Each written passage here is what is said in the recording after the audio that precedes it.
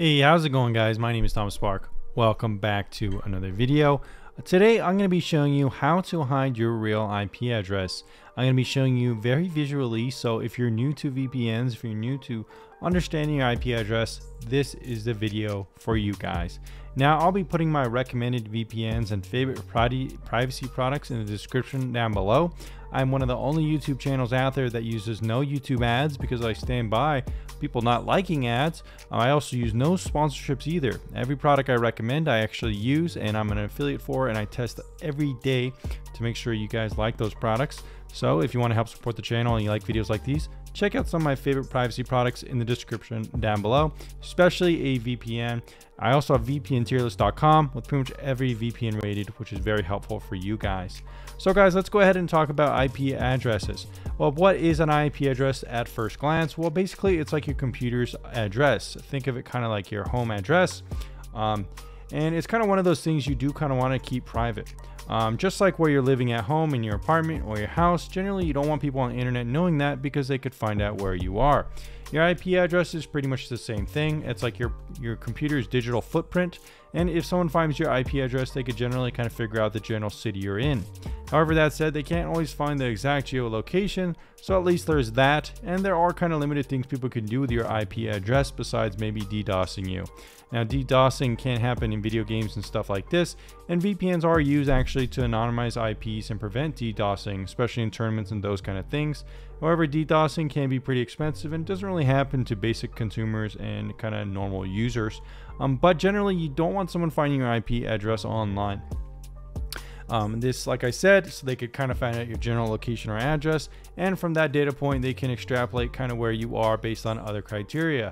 Maybe they know your first name, maybe they know the city you're in, maybe they know where you work or something like that. Sometimes that could be enough to find out your last name, and then from there, your your house's address from there. So that's also something to think about. Now, if you guys weren't aware, there's also other services out there that can help you if that does happen, if someone does find your IRL address. And that's one of the products I'm going to be recommending below. That's going to be Incogni. Now, Incogni is one of those products where it will remove your information from the internet from data brokers. So if someone does find your IP, your IP maybe even your name, um, this will help you remove websites that have access to information. So something like white pages, if someone finds your name, it's going to remove that information from white pages so someone can't find your address. But more specifically, let's go ahead and talk about the IP addresses and how you can hide it. Um, well, basically, in the real world example, this could be your IP. Maybe let's say 65.143.2.1. This is your real IP. Now you need to change that IP. How do you hide the IP? Well, you use a VPN. Now, what does VPN do? Well, it's basically an application on your computer or your phone or anything like that, and you just connect to a remote server. So let's say you're in LA, you'll connect to an LA server on that VPN, and it's gonna scramble and change your VPN to a different IP. Now, this IP is gonna be the VPN's IP address, and it's typically going to be shared with other users on that network to give you even more anonymity. Lots of people use VPNs to torrent things because it has that anonymity factor of being able to kind of do more things without getting in trouble. And some people generally like it to hide and protect themselves online. Another benefit of a VPN is it does encrypt your internet traffic, which means your ISP can't see if you're watching prawn or any other things like that. So that's a, an added bonus. ISPs or your internet service provider likes to kind of creep on you and sell that information, so that's also annoying. Uh, additionally, when you're browsing online, whether you're commenting on a forum or something like that, changing IP can be beneficial because one, someone can't see where you are, but two, you can also bypass restrictions. So if a website bans you, you could sometimes bypass that restriction, especially in something like Discord or other websites like Netflix enforce what are called geo restrictions. This means that you can't access that website to access specific libraries. Some VPNs allow you to access other libraries you might not be able to access without a VPN. So let's say you're in the United States, you could connect to a VPN to get access to a Japanese Netflix library which has more anime. So that's another cool benefit. But guys, let's go ahead and talk about, you know, if if you're kind of convinced on that use case, how do you decide on a VPN? Well, I've made another little chart here of my top three VPNs here on the channel. That's TorGuard, Surfshark, and NordVPN. Now, which one should you choose and why? Well, each one I think has pros and cons depending on, you know, your specific use case and budget and things like that. Now guys, I did make a little quiz here on my website where you could go to vpntierlist.com, click on the, quiz link. Um, that is going to be, here it is.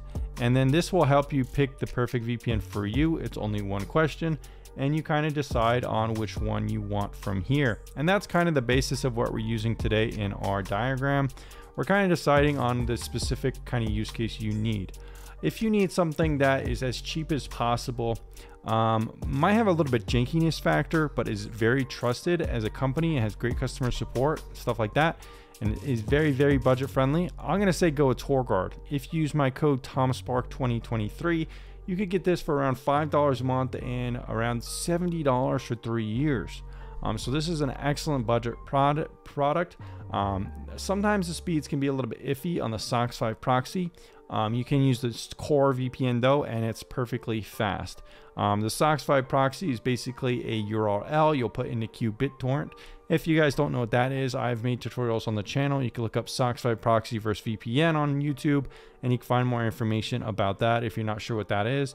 But basically, it's a way to kind of use our URL. You put in your credentials, and then you could anonymize your IP wall using a browser or even stuff like uh, torrent activity. So that's definitely something to think about. Um, but what is the difference between Surf, Nord, and TorGuard? Well, I would say Surf and NordVPN are actually sister companies that have a much more polished look and feel about them.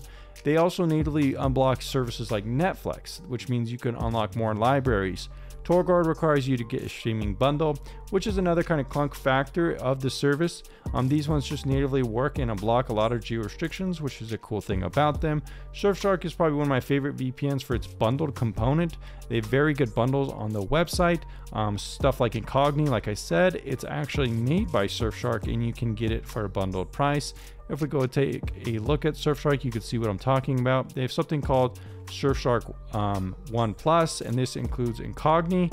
It also includes some other cool bonuses like anonymization of your email and these kind of cool things, and even antivirus. So Surfshark is definitely a good product if you want a really good bundled offering. NordVPN, like I said, it's a sister company. They're owned by the same, um, I guess, um, owners. Um, it's like two separate companies owned by the same holding company though, and they kind of like merged. Um, but NordVPN is very similar to Surfshark. Um, it's a little bit more expensive.